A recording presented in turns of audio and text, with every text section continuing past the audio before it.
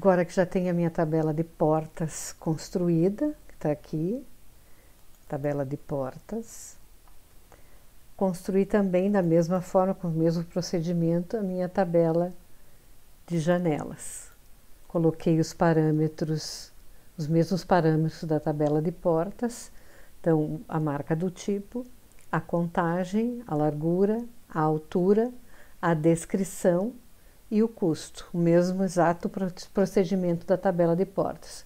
Coloquei na minha aqui a descrição que eu escolhi para minha casa container. Então, a minha, no caso, era alumínio natural Maxinhar, quase todas elas, né? E eh, duas, coloquei duas janelas é, vidro fixo. E aqui tem um total geral de janelas. E aí criei também uma tabela de ambientes, que nós também vamos precisar.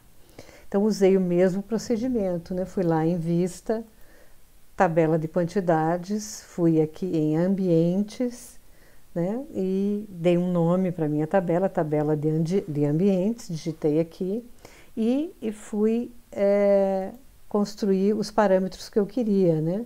É, coloquei aqui nome, a área que eu queria, o perímetro acho interessante, porque se a gente quisesse calcular, por exemplo, a quantidade de rodapé, é interessante ter o perímetro. Coloquei uma descrição de acabamento e uma descrição do acabamento do piso, uma descrição do acabamento do forro, por exemplo, se a gente fosse fazer um projeto executivo. E eu posso editar essas coisas aqui, por exemplo, eu, eu posso esticar para fazer uma descrição, né? esticar a minha tabela para fazer descrição, posso encolher aqui, posso encolher aqui, posso pintar, né, como... E aqui eu coloquei totais, por exemplo. Aqui eu não tinha inserido o total do perímetro, por exemplo. Então eu vou aqui em formatação, edito, aí coloco o perímetro e aí coloco aqui calcular totais, que eu não tinha colocado, porque me interessa saber o total aqui. É a mesma coisa em área, né? Aqui. Então, aqui vou lá em formatação, coloco a área e ponho aqui calcular totais. Eu quero saber os totais, né? Quanto a minha área total de ambientes. Então, na minha área interna, não a área construída, né? Eu tenho 43,6 metros quadrados na minha casa container. E de perímetro, se eu quisesse calcular, por exemplo, rodapé de porcelanato por tudo, rodapé de, de madeira, eu tenho 71,65 metros lineares de rodapé. Então aqui eu posso agora descrever o meu piso, por exemplo. No lavabo eu quero um piso porcelana, não preciso escrever piso porque já está lá, né? Porcelanato, é, em cepa, tal e tal, né? Tal. Vou escrever tal aqui porque é, no banheiro a mesma coisa. Porcelanato, Incepa, Pro. Mesma coisa aqui. Vou escrever o Pro. Então, esse é o piso do banheiro e do hall da lavanderia. Vou pôr o mesmo aqui, né? Porcelanato, já tá lá. Vou copiar, né? A cozinha também, porcelanato. Vou, vou, vou repetir, já, ele já oferece aqui para eu repetir.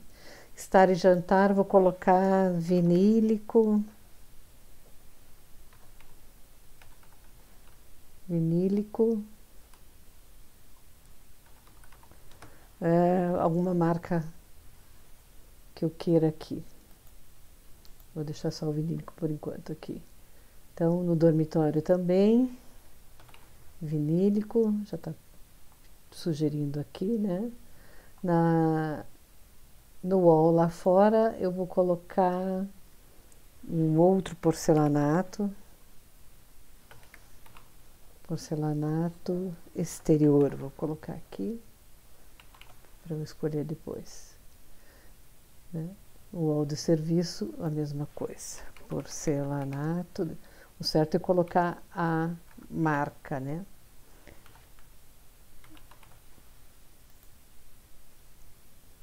escrevi errado aqui. Então, defini todos os meus pisos. Acabamento de forro, vou decidir aqui. Não pus forro lá, né? Então, vou colocar laje de concreto. Laje de concreto, pintura acrílica, da cor branco aqui, faltou espaço aqui, então eu vou, vou esticar a minha meu espaço. E assim vai, vou fazer tudo igual. E assim vai, assim por diante. Em, toda, em todo ele. Então, estou descrevendo todo o meu forro. Esse, essa coluna aqui, que é a coluna da, da descrição, eu quero pôr quero pôr negrito, né? ou pôr maior essa fonte aqui, né? Vou pôr negrito, vou colocar o tamanho da fonte um pouquinho maior, 4.